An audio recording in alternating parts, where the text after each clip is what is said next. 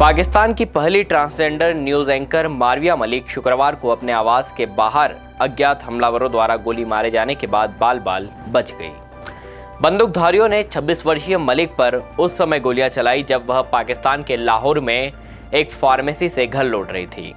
बता दें कि लोकल मीडिया ने यह जानकारी दी है।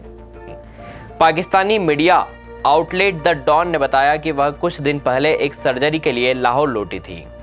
मलिक ने अपने परिवार द्वारा अस्वीकार किए जाने के बाद 2018 में न्यूज़ एंकर बनने वाली पहली ट्रांसजेंडर व्यक्ति बनकर इतिहास रच दिया था।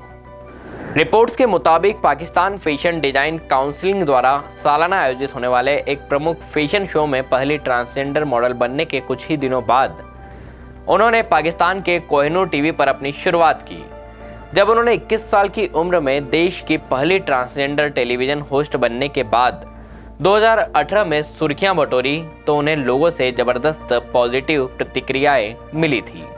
खैर, अभी के लिए इतना ही। नमस्कार, मैं हूँ दीपक। खबरों के लिए बने रहिए मृदुभाषी न्यूज़ के साथ।